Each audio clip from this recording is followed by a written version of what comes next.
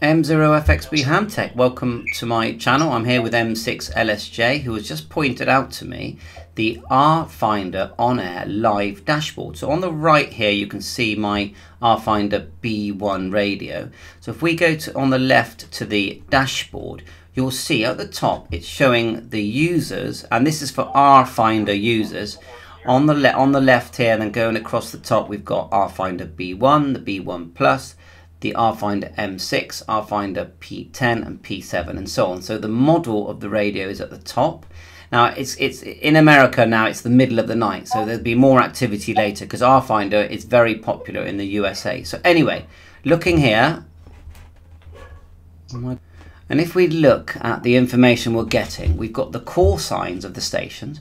We've also got them using DMR OIP and their normal the radio part of the R-Finder system because within the R-Finder system you have a built-in link to all the talk groups called DMR-OIP so you do not need a hotspot. You also do not need a code plug because everything is stored on your on your radio and within the cloud. So everything's there. Once you enter a channel you can just go to it.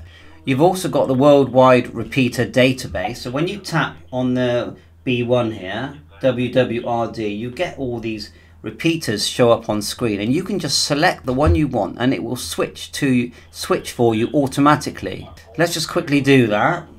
So I'm just going to tap a random one and then click set parameters and it's going to set the radio up for me so I don't need to go into my code plug and start learning how to program a code plug which can be very confusing with DMR and this is why you get the R-Finder type radio all agree to those messages.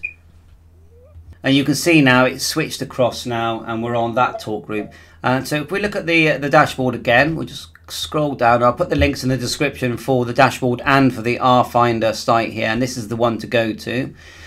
moving across. And you've got the new W6 model that's been released as well. Now, no, M6, my apologies. M6 model. Um, but obviously the, the you've got the tablets which which is the P10 and the P7 and then the R-Finder B1 and B1 Plus that has USB-C charging. So looking here it's actually showing the frequency that we're on whether we're using DMR IP or using like just like I said a normal frequency, the type of radio, etc. And we'll scroll down quickly at the pamphlet from R-Finder see some of the products. They've got that really nice charger there, which I've got here, which is excellent and not expensive. You know, $55 and you get this charger. Look at one, two, three, four, five, six, eight items. Plus you can put your phone on top and it will charge that. There's the P10 tablet there. Scrolling down uh, and uh, just looking at this info. So please uh, check it out.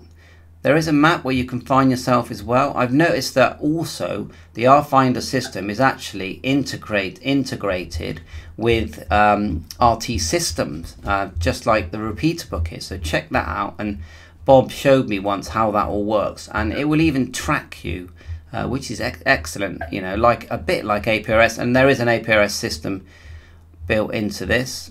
Uh, also, you've got yeah, you've got your uh, sort of, I think they call it the R Finder, the R Finder network. So, and then other R Finders can communicate with you. They can see exactly where you are just by tapping on the R Finder network and then a couple of short links here. And remember, satellite mode. Let's go and have a quick look at that. Tap the screen, tap satellites, um, and then you've got all your satellites coming through there. Let's tap one like so. And look, I've got one coming near me actually. How many minutes is that? If I tap it, wow, how cool is that?